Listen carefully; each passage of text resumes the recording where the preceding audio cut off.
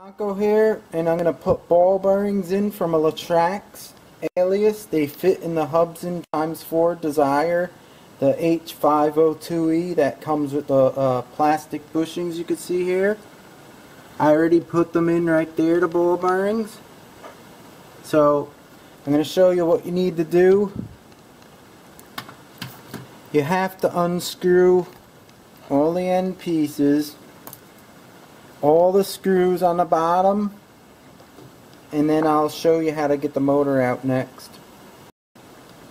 Hold the bottom of the motor and then just pull this up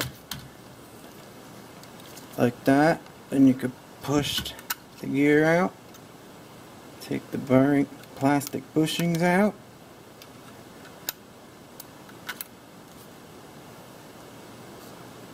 now you push the Traxxas ones in with the seal on the bottom.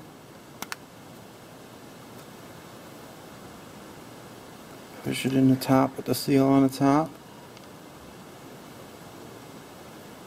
Just like that. Put your gear back.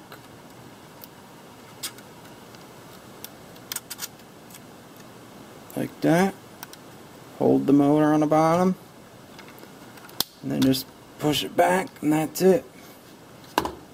Ball bearing. Beauty. It's all finished up now with all the screws in and the motor caps on the bottom for the legs.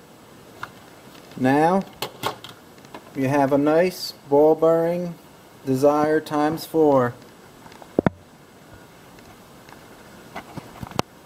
Beauty.